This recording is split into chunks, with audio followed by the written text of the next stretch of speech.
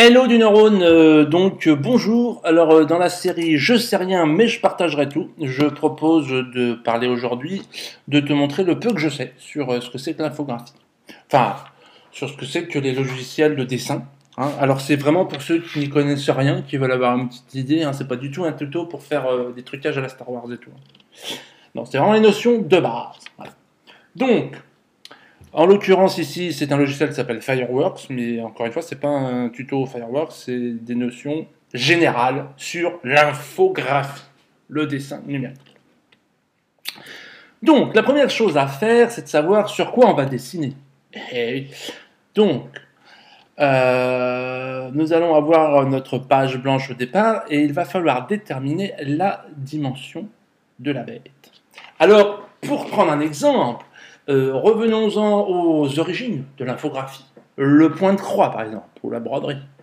T'as déjà regardé une, euh, hein, belle tapisserie ou un point de croix? Tu regardes de tout près, tu vois rien du tout.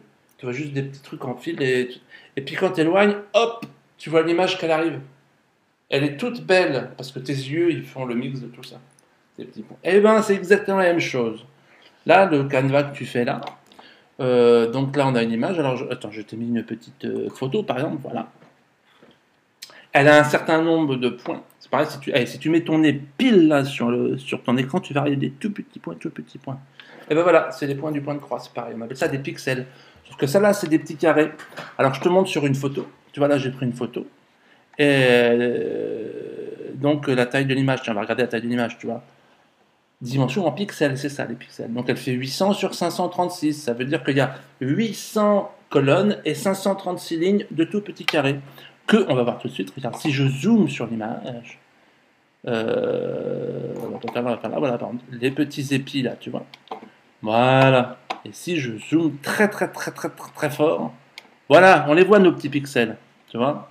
Et en fait, ce sont tous ces petits pixels qui, vus de loin, vont nous faire une très belle image. Que c'est super beau, magnifique. Donc les pixels sont donc l'unité de base de notre joli dessin. Il y en a des millions, des millions, il y en a plein. Donc on va maintenant voir euh, comment on peut dessiner sur ce canevas. Alors on va voir qu'on peut faire plusieurs couches superposées. Et euh, toutes ces superpositions vont nous permettre de faire des tas de très jolies choses et des tas de très beaux dessins. Allons-y. Donc les calques. Parlons donc des calques. Alors, euh, on a beaucoup de chance. On a beaucoup de chance par rapport euh, aux vrais peintres, hein, ceux qui utilisent des trucs avec euh, des vraies choses matérielles. Parce que euh, lorsque le peintre jette ses couleurs et les mélange, il lui est ensuite bien difficile de d'effacer une couleur et pas l'autre, par exemple. Alors que nous, eh bien, nous avons la possibilité, par exemple avec ce petit outil sur lequel nous reviendrons plus tard, par exemple, je dessine par exemple une première chose, ensuite euh, je dessine une autre chose ici, voilà, et nous avons donc deux formes. Alors, pour les séparer, je vais leur donner une couleur différente. Et donc le miracle se produit devant tes yeux ébahis. Nous avons donc la chance de pouvoir sélectionner de façon indépendante chaque forme, chaque chose ajoutée dans notre création. Ce qui est bien pratique. Mais alors euh, se pose le problème de comment sont affichés ces éléments. Alors il y a tout simplement une histoire d'empilement. Et c'est ce qu'on appelle les calques. Comme on peut le voir, en fait, il y en a une qui est devant l'autre. Il faut imaginer que ce sont des feuilles mises les unes sur les autres, des, formes mises les unes sur les autres. Et cet empilement est illustré dans une zone généralement euh, dévouée à cela, qui permet d'organiser ces calques. Et donc on voit bien là qu'effectivement on a le tracé rouge, la forme rouge qui est en dessous de la forme grise, et euh, nous avons justement la possibilité de modifier cet ordre. Donc si on veut que la forme rouge soit devant, eh bien on la met devant. Pardon, je mets la forme grise derrière. Oh, oh on va y arriver. Pardon. Et donc voilà, la forme rouge, elle est passée devant. Donc les calques s'empilent et on va pouvoir ajouter ainsi des tas d'éléments dans notre création. Et nous verrons que euh, la façon dont on les mélange et la façon dont on les superpose va bien nous aider pour faire un bien joli dessin. Alors, ceci étant dit, la plupart des logiciels donc disposent de ce qu'on appelle une boîte à outils, généralement comme ça dans une barre. De... Et euh, alors, Dans les plus simples, il y a juste une zone bitmap, c'est-à-dire qu'on va agir sur les petits carrés qu'on a dit, les petits pixels. On va pouvoir en changer la couleur, parce que finalement, dessiner, c'est changer la couleur de certains pixels. Et euh, donc, dans un logiciel comme celui-là, qui est un peu plus sophistiqué, on a également une zone qu'on appelle vecteur. Alors, pourquoi? Parce qu'en fait, dans le graphisme, nous faisons vivre en fait deux mondes parallèles le monde du bitmap et le monde du vecteur. Quelle est la différence? Le bitmap, tu as besoin de savoir la couleur de chaque point. Donc il va falloir enregistrer la couleur de chaque point. Ça en fait des points, hein, parce que tu vois, tu fais euh, déjà une toute petite image de 10-10, ça fait 100, de 100 par 100, ça fait déjà 10 000, enfin je fais le Alors, euh, il y a des gros malins qui ont, inventé le vecteur. Donc ici, une forme comme celle-là est un vecteur. Si par exemple, je prends euh, un des outils ici, par exemple, qui est la plume, en fait, je vais juste définir certains points qui vont définir une forme. Ah, par exemple, je fais quelque chose qui ressemble comme ça. Donc ici, il y a quatre points qui définissent cette forme. Et donc, euh, cet objet est défini par la position de quatre points et d'une couleur. Et puis, c'est tout. Voilà. Je n'ai pas besoin d'enregistrer chaque point. Là, c'est blanc, là, c'est rouge, c'est rouge, les coordonnées de tous les points qui composent cette forme. Ça a un énorme avantage par rapport à un bitmap. Je vais enlever ça et ça. Voilà, donc j'ai cet objet, je vais le dupliquer, je vais le faire à côté, et celui-là, j'ai la possibilité de le faire passer dans le monde du bitmap. Voilà. Donc ici, j'ai un objet qui en fait est beaucoup plus lourd à, sauvegarder, puisque il, est, est composé d'un tas de pixels, des tas de pixels rouges, alors que là, celui-là, en fait, il a juste à retenir les coins. Et la différence se fait voir parce qu'on peut changer les dimensions d'un objet. Tu vas voir que là c'est merveilleux parce que cet objet, eh ben, il est toujours joli quand je l'agrandis ou quand je le. Voilà, je peux en faire ce que je veux, je peux très facilement le tourner. Et voilà. Et si je veux encore l'agrandir, je n'aurai pas de souci. Puisque les quatre points, il suffit de calculer euh, la position des nouveaux points. Mais les lignes qui joignent ces points et le coloriage qui est fait à l'intérieur est fait par l'ordinateur et tout est nickel chrome, c'est tout beau, c'est tout joli. Alors que celui-là, rappelons-nous maintenant celui-là, celui de droite, je l'ai transformé en bitmap. Donc il n'a plus les informations des points, il, a dû, il doit enregistrer l'information de tous les points de ce petit dessin. Ce qui fait que si par exemple je veux le rapetisser, bon ça va être joli parce que c'est facile, on va pas rentrer en détail, mais enfin c'est facile de rapetisser. Par contre, si je veux prendre cette forme et que je veux l'agrandir, là, ça devient pas beau du tout. Parce qu'il ne sait pas calculer euh, toutes les positions des nouveaux points qu'il va falloir qu'il devine. Bon, on ne va pas rentrer dans le détail, mais même pour l'ordinateur, c'est pas possible. Donc, on se retrouve avec quelque chose qui est beaucoup moins agréable à manipuler et surtout qui permet de faire moins de choses. Alors, typiquement, les icônes, par exemple, sur un, bon là je suis sur un Mac, il y a beaucoup des icônes qui sont ici. En fait, ce sont, des, ce sont des choses vectorielles, ce qui fait qu'ils peuvent facilement les animer. On peut facilement les agrandir et les, et les rapetisser, puisque tout est défini par des points et tout se passe donc très bien. Voilà, c'est donc la différence entre le vecteur et le bitmap. Mais chose formidable, euh, les deux cohabitent très bien dans ces logiciels-là. Simplement, effectivement, euh, si là je fais, euh, je fais un nouveau. Alors, au niveau des calques, c'est différent. Il y a des calques tracés et il y a des calques bitmap. Ces deux mondes-là cohabitent, mais ils sont identifiés. Donc, par exemple, ici, je peux faire une nouvelle image bitmap. Et avec un outil bitmap, donc comme un, crayon, si je prends un crayon avec une couleur quelconque, je mets d'une certaine largeur.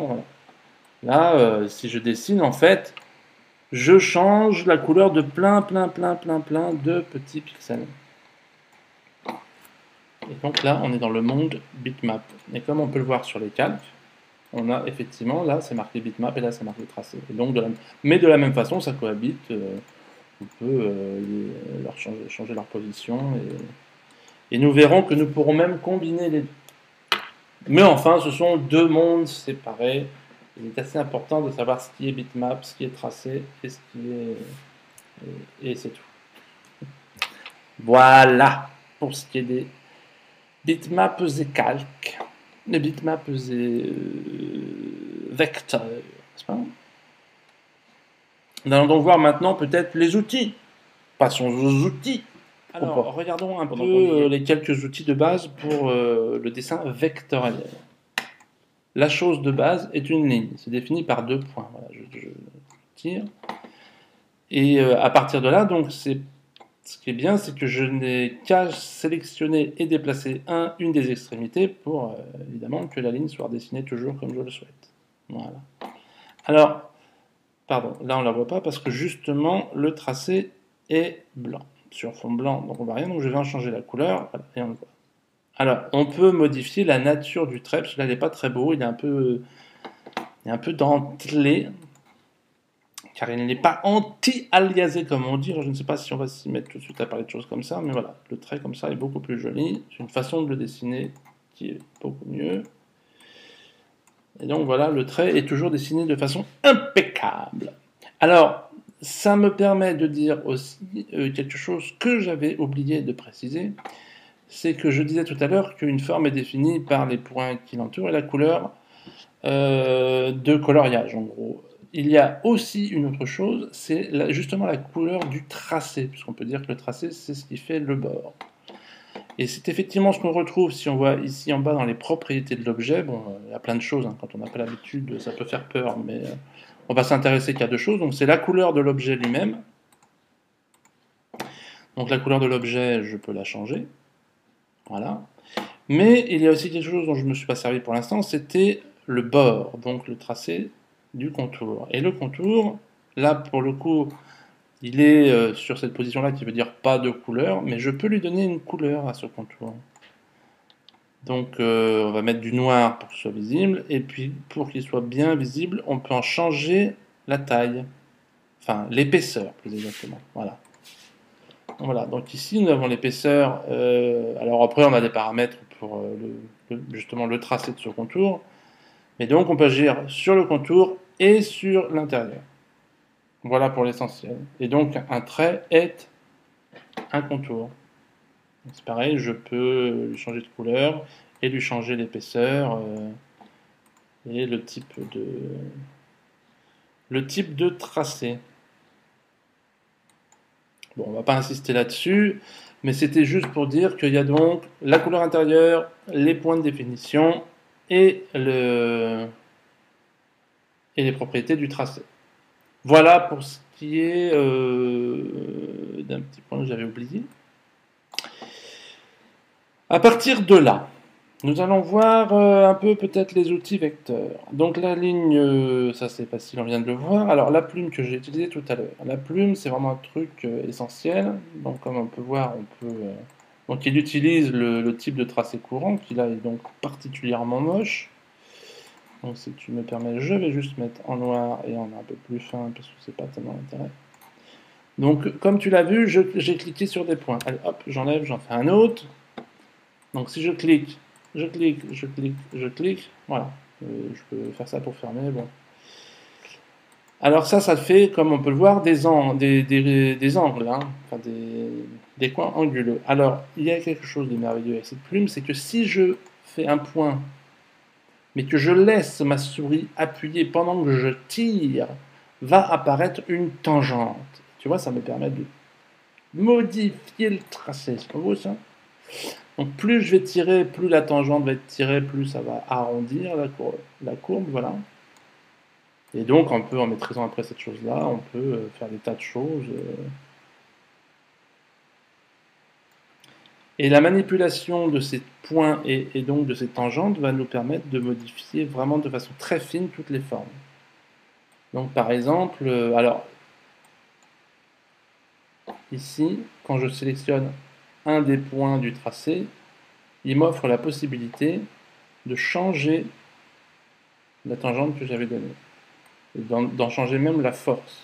Si là je diminue, tu vois, ça va moins impacter sur la courbe. Bon, après, il faut, comprendre un peu comment ça marche, il faut, suffit de pratiquer un petit peu. Donc là, je peux le faire juste sur ce côté du point, là, en bas. Je peux agir également en haut. Et alors, avec une combinaison de touches, je peux aussi casser. Là, les deux tangentes sont alignées. Ce qui fait qu'en fait, ici, j'ai une belle courbure. Mais je peux, avec le. bon, en l'occurrence, sur ce logiciel-là, c'est la touche Alt. Je peux casser la dépendance des, deux, des deux tangentes. Donc ici, je, peux bouger celle-là sans toucher à l'autre.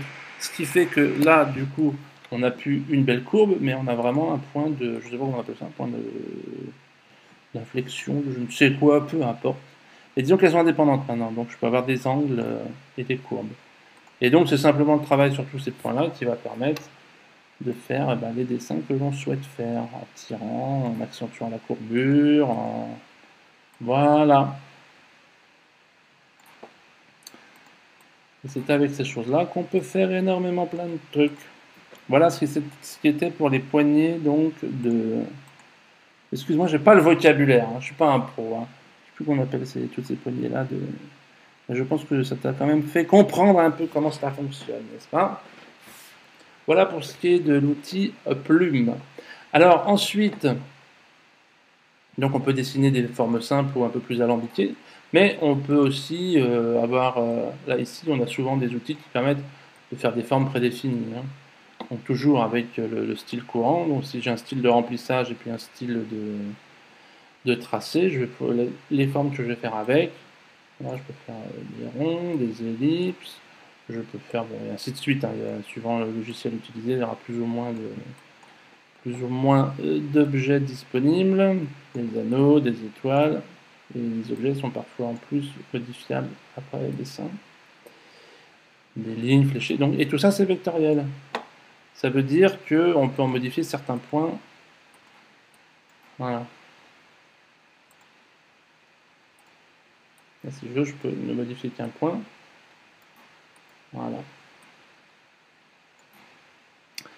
Euh, alors, un petit mot peut-être sur les textes. Parce que les textes, en fait, utilisent des fontes. donc, par essence, en fait... Pardon, là, je n'ai pas de couleur, donc je vais lui attribuer une couleur. Donc les, textes sont des objets un peu à part, mais qui sont dans, quand même dans la famille du vecteur, puisque ce sont des tracés. Hein. D'ailleurs, si je prends une fonte un peu plus compliquée, je peux même me permettre de transformer cet, euh, objet en forme comme les autres.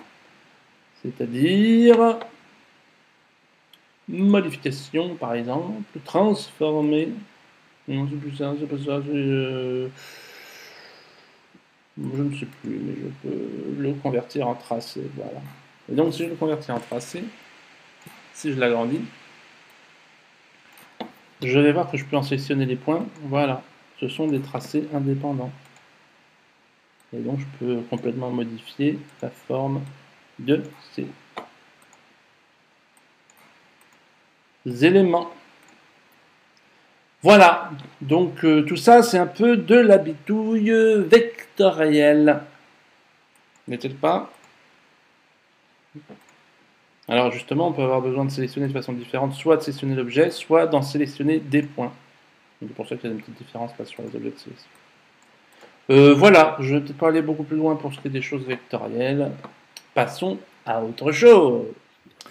Alors, une notion qui est euh, pas forcément très simple non plus quand on ne connaît pas, c'est la notion euh, de masque. C'est super utile. Alors, un masque, c'est quelque chose qui va permettre de n'afficher qu'une seule partie euh, d'un élément. Alors, on va essayer de faire par exemple, parce que c'est pas forcément évident à comprendre ce que je veux dire. Bon, imaginons par exemple qu'on ait une forme comme ça. Donc là, j'ai une forme. J'ai une forme.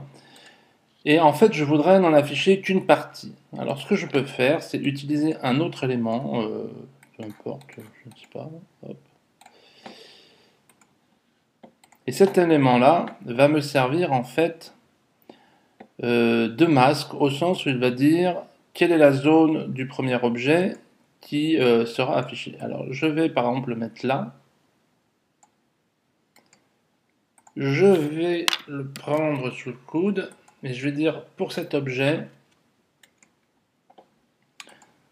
sur cet objet, je vais coller en tant que masque l'objet que je viens de prendre dans mon clipboard. Voilà. Et alors là, voilà, on voit tout de suite l'illustration. C'est-à-dire, de l'anneau, nous ne voyons que ce qui est en fait dans la zone de masquage qui est ici. Et donc, je peux déplacer ma zone et nous ne verrons que la partie recouverte par le masque. Alors après, bon, il y a plein d'options sur la façon dont on opère le masque, mais l'idée, c'est déjà de comprendre un peu que on peut euh, ainsi... Alors, je peux bouger mon masque, je peux le décrocher et le bouger, mais voilà, c'est lui qui va dire ce qui est visible ou pas. Alors, ça, c'est très utile. On va enlever tout ça. Pardon. Hop, hop. Hop, hop, hop. C'est très utile, euh, notamment parce que ces masques euh, qu'on peut dessiner donc à la plume peuvent permettre notamment de détourer des choses, qui peut arriver assez régulièrement si on a envie de s'amuser un petit peu avec euh, des images, hein, du LOL Touch par exemple. Alors, mettons par exemple que on veut que Monsieur Gandhi, le Monsieur Gandhi, participe, fasse coucou à la Coupe du Monde. Alors le problème c'est que là, si je mets monsieur euh, le Mahatma Gandhi, si je le mets là, eh ben, il y a toute la zone noire là que j'aimerais bien ne pas voir, évidemment, puisque sinon euh, ça ne va pas. Alors, ce qu'on peut faire, c'est qu'il y a effectivement des outils. Alors, c'est là où après il faut choisir sa méthode. Il y a euh, des outils de type bitmap, parce que là nous sommes donc avec deux objets bitmap. Hein. derrière le bitmap, on a une photo rugby et on a une photo rugby derrière et devant on a la photo de Monsieur Gandhi. Alors je peux sélectionner la photo de Monsieur Gandhi et puis commencer à... Euh, je pourrais très bien faire comme ça, c'est-à-dire j'ai une gomme, hein, j'ai une gomme, et donc en fait ça enlève des pixels. Et alors je pourrais comme ça euh, me rapprocher et petit à petit faire tout le tour et tout ça. C'est une solution. C'est une solution, il y en a d'autres, il y a des outils de type par exemple baguette magique qui vont, je clique dans le noir et ça va sélectionner tous les pixels qui sont pas très très loin de ce noir. Et donc là, ça m'a sélectionné pas mal de trucs. Et si je supprime tous ces trucs-là, voilà, ça a déjà fait un tour. Mais c'est pas GGN. En fait, à bien y regarder de près, euh, fais-moi confiance, c'est pas GGN. Et de toute façon, là, on n'est pas dans, le, dans la performance, c'est juste pour dire les méthodes et comment on peut se servir des masques. Alors, justement, le masque avec un objet de type euh, plume, comme ça, on va pouvoir dessiner un contour. on peut par exemple s'approcher, ce sera plus simple. Hein, vaut le coup de, s'approcher pour être... Euh, Et donc là, ce que je vais faire, je vais dessiner une forme. Voilà, hop, je vais dessiner une forme avec un peu le coup des tangentes, là, je dis tout à l'heure. Et ça me permet quand même d'épouser beaucoup mieux des courbes, par exemple des courbes comme ça. Bon, je ne vais pas faire GGN, hein, là c'est juste pour, euh, pour montrer. Mais par exemple là, il me suffit de faire un peu avec quelques tangentes, par exemple sur un crâne pour avoir la rondeur à peu près correcte. Ça me permet comme ça de euh, des choses qui sont beaucoup plus élégantes que des coups de gomme ou des coups de... Alors bien sûr ça marcherait pas sur euh, une crinière de lion ou sur des cheveux hérissés, mais là quand on a des courbes qui sont à peu près euh, redessinables sans trop de travail, bon je fonce, hein, euh, normalement on passe du temps pour bien le faire, mais bon, hop, tac, tac, tac,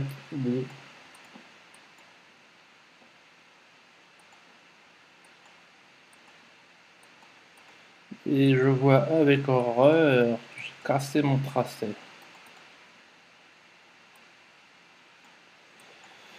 Voilà, voilà, voilà, voilà, voilà. Hop, hop, hop,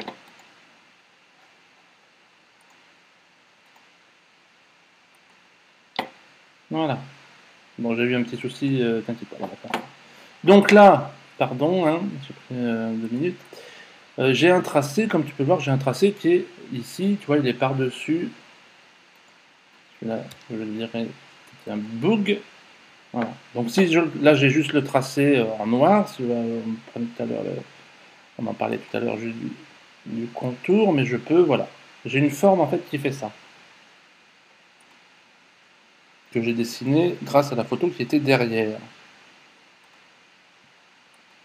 Donc ce que je vais faire maintenant, je vais prendre, couper cette forme, me la mettre dans le clipboard, hop, je l'enlève. Et pareil, je vais dire à cette photo, je vais utiliser cet élément comme masque. Donc je vais le coller sur euh, le bitmap de Gandhi et je vais le coller en tant que masque. Et pouf Alors une des choses qui est déjà qui est pas mal, donc voilà, donc là on voit on a la transparence, donc ça fait un montage totalement inutile et sans intérêt, mais euh, c'est juste pour montrer qu'on peut avoir. Donc comme ça j'ai fait un découpage. Et ce qui est sympathique quand on est avec un, masque comme ça vectoriel, c'est que euh, on peut le faire grossièrement et après, par exemple tu vois j'ai sélectionné un point et je peux le bouger juste avec des flèches. Je peux ajuster mon masquage. Ça permet de faire des choses beaucoup plus précises, reprendre les courbes et tout ça. Bon bah en passant un peu de temps, euh, on peut obtenir des choses très, très jolies pour détourer des bouts d'objets, puis faire des montages comme ça, les ajouter et ainsi de suite. Voilà, donc ça, c'était juste pour essayer d'illustrer, je ne sais pas si j'étais très clair, mais pour essayer d'illustrer à quoi peuvent bien servir des masques pour extraire des éléments, pour ajouter de la transparence sur des contours. C'était les masques.